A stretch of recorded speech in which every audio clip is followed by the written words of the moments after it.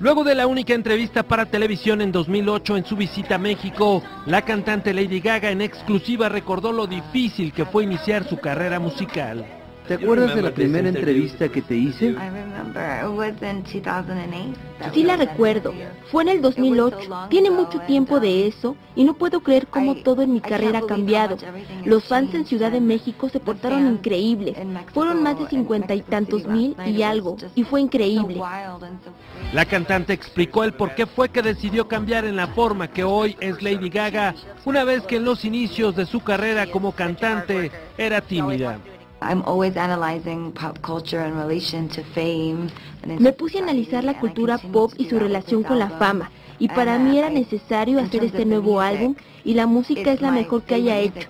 Es muy dura industrial, tecno con fantasía, pop y la música dance. Me encanta que mis amigos hayan participado, me hace sentir con libertad.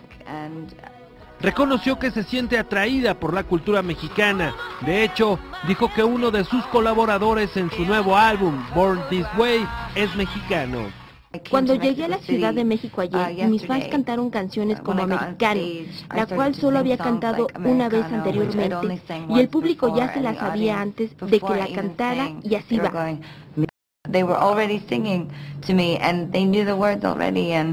Y no es como el tema de Judas, en el cual mueves tus manos y brincas.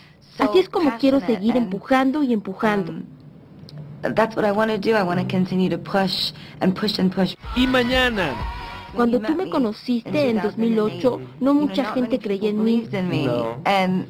Yo sí creí en ti. Tú me apoyaste y quería crear ese sentimiento con este nuevo álbum. Quería pelear por mi visión artística y no dejar de pelear por eso. Para Primero Noticias, Televisa Espectáculos, Alejandro Rolten.